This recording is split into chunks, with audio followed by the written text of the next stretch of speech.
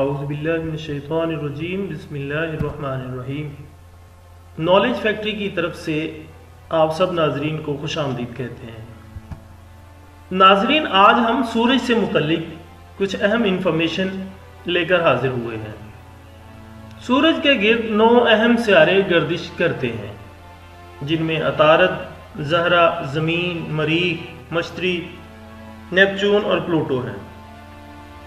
جدید تحقیق کی بنا پر پلوٹو کو دو ہزار چھ میں ہمارے نظام شمسی سے خارج قرار دیا گیا۔ ناظرین، سائز، حرارت اور کیمیائی ساخت کی بنا پر سورج کو ڈرافٹ جی ٹو کے طور پر ایک درجہ بندی میں شامل کیا گیا۔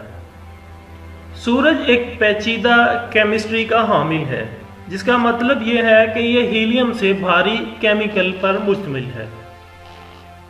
ناظرین، سورج ہر سیکنڈ میں چار ملین ٹن ہائیڈروجن خرچ کرتا ہے، جس سے پتا چلتا ہے کہ سورج seventy five percent hydrogen twenty three percent helium اور ٹو پرسنٹ بھاری عناصر پر مشتمل ہے۔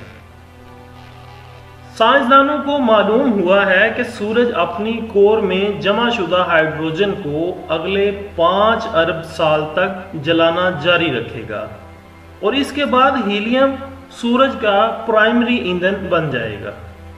ناظرین، یہ تو سائنسدانوں کا خیال تھا، لیکن حقیقت اللہ تعالیٰ کو معلوم ہے۔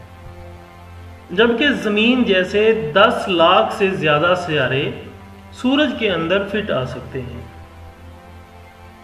تقریباً ہر گیارہ سال بعد سورج مجموعی طور پر اپنی مقناطیسی یعنی پولیرٹی الٹتا ہے۔ اس کا شمالی مقناطیسی قطب جنوبی قطب بن جاتا ہے اور جبکہ جنوبی قطب شمالی قطب میں تبدیل ہو جاتا ہے۔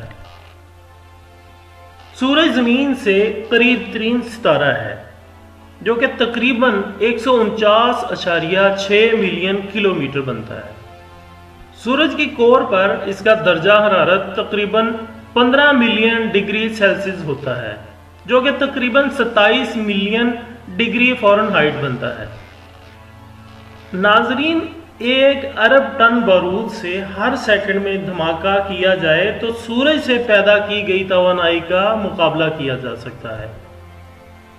زمین پر کسی ایک سو پچاس پاؤنڈ وزنی شخص کا وزن سورج پر بیالیس سو پاؤنڈ ہوگا، کیونکہ سورج کی کشش ثقل زمین سے اٹھائیس گنا زیادہ ہے۔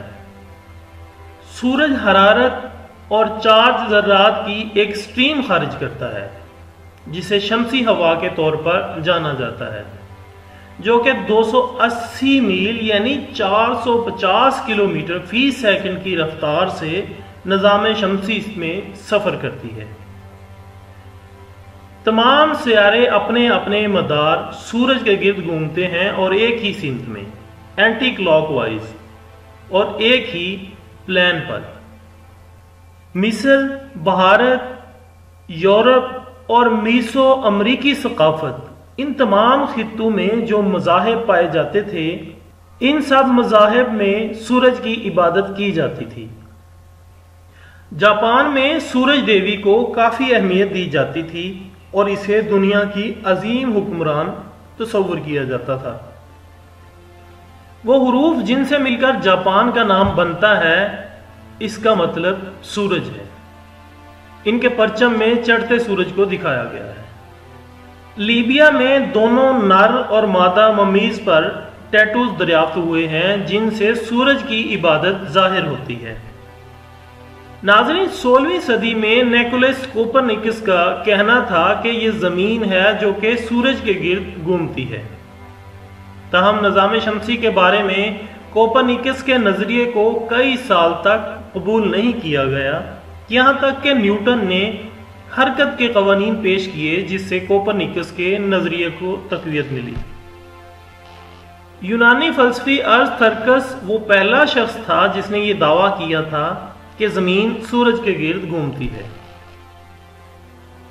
ناظرین، ایک دہائی کے دوران سورج کی کرنوں کی پیداوار میں بہت ہی معمولی تبدیلی واقع ہوتی ہے۔